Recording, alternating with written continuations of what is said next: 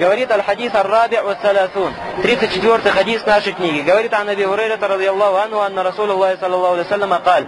Приходит от Абу Хурейра радиаллаху анну о том, что посланник Аллаха саллаллаху алейхи салям сказал. «Ида джалеса бейна шуаби аль-арба, сумма джаада факат ваджаб аль-гуслю». Говорит, если человек сел между четырьмя органами тела женщины, сумма джахада, а потом совершил с ней половой акт, факад ваджаб аль-гуслю, то гусль половое, то есть полное омовение становится обязательным. Вафиляу или муслим, а у имама муслима риваят приходит, уин нам юнзиль, даже если не произошло семяизвержение. Нам этот хадис приходит у Бухари и Муслима. Значит, что ты понимаешь из этого хадиса?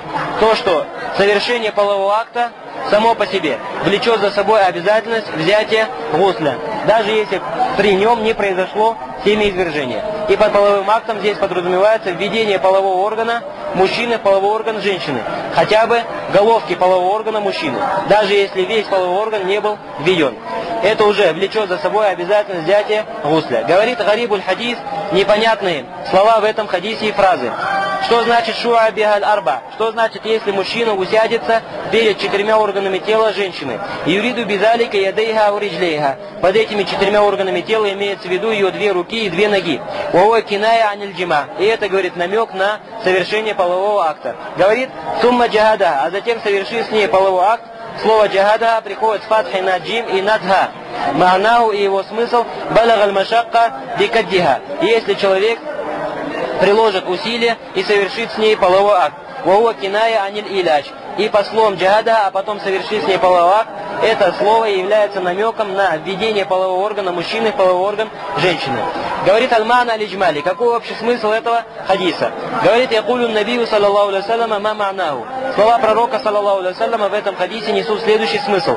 Ида джаласа раджулю, бейна шуа биль мар'a аль арба. Говорит, если человек усядется перед четырьмя органами тела женщины, алляи гунна аль-ядан вар-риджлян, под которыми здесь подразумеваются две ноги и две руки, сумма ауляджа закараху фи фарджиль мар'a, а затем ведет свой половой орган, половой орган женщины, факад ваджаба алейхим аль то на них обоих становится обязательным взятие гусля, миналь джанаба, от полового осквернения. Уин лам яхсуль инзаль мани, даже если не произошло семяизвержение при этом половом акте. Ляналь иляджа вахдаху ахаду муджибат аль Потому что само по себе введение полового органа мужчины в половой орган женщины уже является одним из тех явлений, которые влекут за собой обязательность взятия гусля. Говорит мою ухаду миналь хадис. Какие полезные моменты берутся из этого хадиса?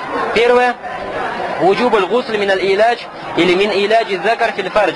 Указание на то, что гусль становится обязательным, если произошло введение полового органа мужчины в половой орган женщины.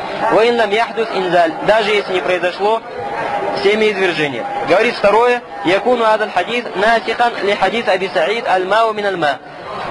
Отсюда ты понимаешь, что хадис Абу Хурейры, который мы сейчас разбираем, является аннулирующим хадис Абу Саида Аль-Худри, в котором приходят слова пророка, саллаллаху алейhi «Аль-мау мин аль-ма».